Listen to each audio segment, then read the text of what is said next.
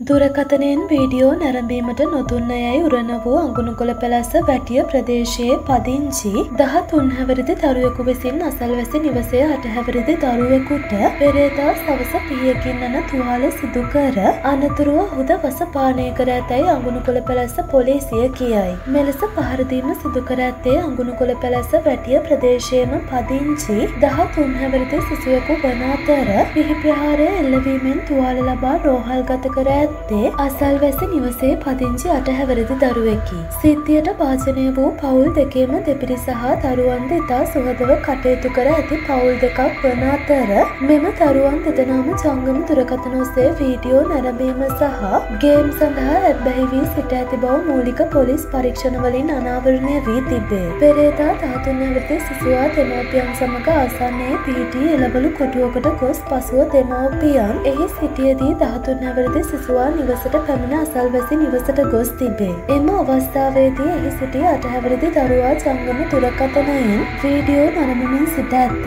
එම අවස්ථාවේ එකවරම අටහැවරිදි දරුවා මෙන්න මට ගහනෝ බේරගන්නෝ කියා කෑගසන ශබ්දයට අසල්වැසි කාන්තාවක් ඒ දෙස විපරම් කර තිබේ. එහිදී අටහැවරිදි දරුවා එම ස්ථානය අඩමින් සිටියදීම දහතුන් හැවරිදි සිසුවා එම ස්ථානයෙන් පිටව ගොස් තිබේ. පසුව අසල්වැසි කාන්තාව එම ස්ථානයට පැමිණ බලන අවස්ථාව අවස්ථාවේ පිහියකින් එම තුවාල සිදුකර ඇති බව දැක ඒ බව එම දරුවාගේ මවට පවසීමෙන් පසු ප්‍රතිකාර සඳහා දරුවා කුට්ටිකල රෝහල්ට ඇතුළත් කර තිබේ. එහිදී අටහැවරිදි දරුවා වැඩිදුර ප්‍රතිකාර සඳහා හම්බන්තොට මහරෝහල්ට මාරු කර යවා ඇත්ත. පිහි ප්‍රහාරය එල්ල කිරීමෙන් පසු දහතුන් හැවරිදි සිසුවාද නිවසින් පිටව ගොස් තිබේ. මේ සම්බන්ධයෙන් අඟුණුකොළ පැලැස පොලිසිය සහ දෙමව්පියන් එක්ව දහතුන් හැවරිදි දරුවා පිළිබඳව සොයා බැලීමේදී දරුවාගේ දෙමාපියන්ට රාත්‍රී අටට පමණ වෙනත් පුද්ගලයේ දුරකථනයෙන් කතා කර දරුවා කුට්ටිකල රෝහල්ට ඇතුළත් කර ඇති බව පවසා තිබේ. ඒ අනුව පැමිණ පරීක්ෂා කිරීමේදී අනාවරණය වී ඇත්තේ පිහියනීම සිදු කිරීමෙන් පසු දහතුන් අවරිදි සිසුවාද වස පානය කර ඇති බවයි. වස පානය කළ සිසුවා වැඩිදුර ප්‍රතිකාර සඳහා ඇඹිලිපිටිය මූලික රෝහල්ට ඇතුළත් කර තිබේ. සිද්ධිය සම්බන්ධයෙන් අගුණුකොළ පැලැස්ස පොලිසිය වැඩිදුර විමර්ශන පවත්වයි.